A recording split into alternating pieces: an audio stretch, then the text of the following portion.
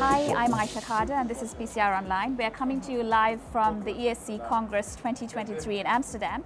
And today I have the pleasure of speaking with Professor Barbara Stahli from University Hospital Zurich. Welcome, Professor Stahli. Thanks for having me. Thank you for joining us. You presented yesterday the results of the Multistars AMI trial. Could you tell us a bit about the background of the study? Yeah. So Multistars AMI was an international open label non-inferiority randomized trial of uh, immediate versus staged revascularization of non-culprit lesions in STEMI patients with multivessel coronary disease. And why did we do this trial? Uh, we know that about half of patients with STEMI present with multivessel uh, coronary disease. These patients are at increased risk, and we know from studies such as COMPLETE that complete revascularization of these patients is superior to culprit lesion only PCI. But the optimal timing in STEMI patients had not been, not been investigated, and that's why we designed the Multistars AMI trial. That's great. It's very important to designate the timing in terms of when the complete revascularization should be done. So could you tell us a bit more about the design and also we know this was designed in a non-inferiority uh, margin manner. Why non-inferiority and also a little bit more about how you designed it? Yeah, so I start with the non-inferiority trial uh, design. Um, complete showed that a complete revascularization of uh, non-culprit lesions is superior to culprit lesion only PCI incomplete benefits were observed irrespective, irrespective of the timing of non-culprit lesion PCI, so whether this was done during the index hospitalization or afterwards within 45 days. But incomplete, all procedures were staged procedures, so no immediate complete revascularization procedures. And uh, Multistars was designed to investigate whether immediate uh, of non-culprit lesions is non-inferior to, to staged. All right, so you randomize patients one is to one to get the procedure during the index STEMI itself versus yeah. later yeah, on? exactly.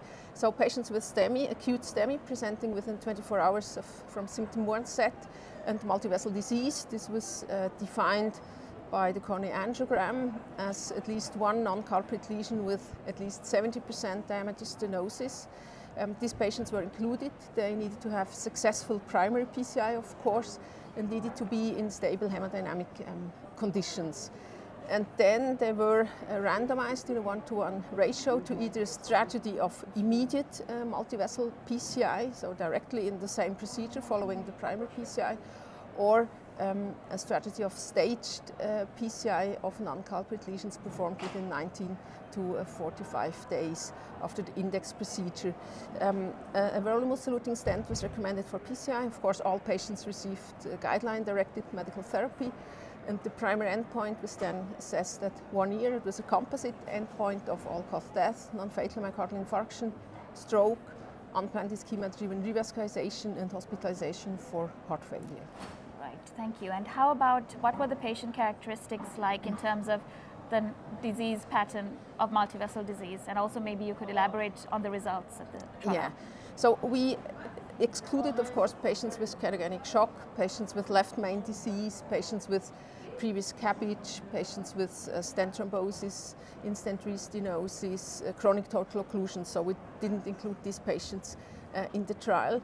Uh, when we have a look at the baseline characteristics of our patients in the study, the median age was about 65 years. They were 80% male, as always in our cardiovascular trials.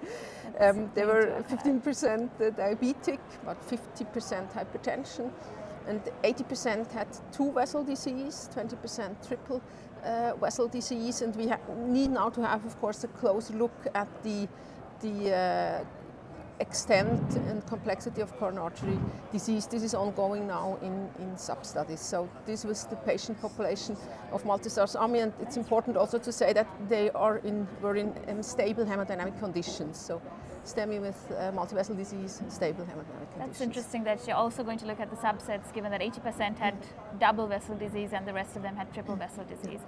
Okay, we can tell us about the results now? Yes, now we come to the yes. results.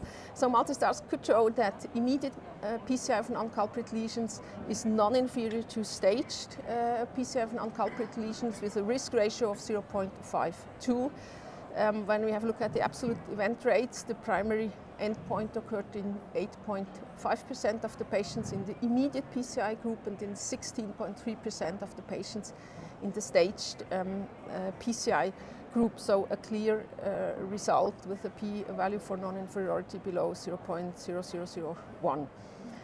And when we have a look at the individual uh, components of the primary endpoint, we saw that immediate uh, PCI of non-culprit lesions was associated with lower rates of non-fatal myocardial infarction and lower rates of unplanned ischemia-driven revascularization.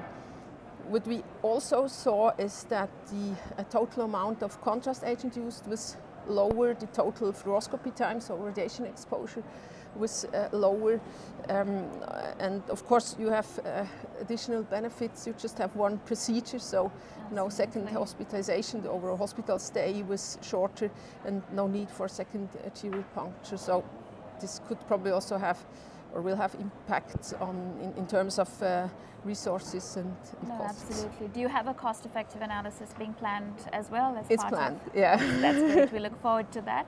And I just wanted to touch on this double versus triple vessel disease. Just to clarify for the audience, if, if in the case of triple vessel disease, when you did the non-culprit, would you do both the remaining vessels? Yes. All yes. right.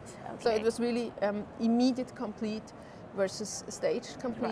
Right. Okay. But we really have to, to have a close look at these patients because yes. these were uh, are mostly more complex patients, and then we have also always to consider um, uh, discussing these patients with our colleagues from uh, cardiac surgery in, yes. in, a heart team discussion. So I think there are a lot of questions um, that we still need to answer in this interesting field. That's true. I think the sub studies and the results coming out of it will be even more interesting to look at, and this fits in very nicely with the ACS guidelines that were presented yes. on the first day of this congress. So yes. congratulations again, and thank you very much for Thank you so much us. for having me. Thanks.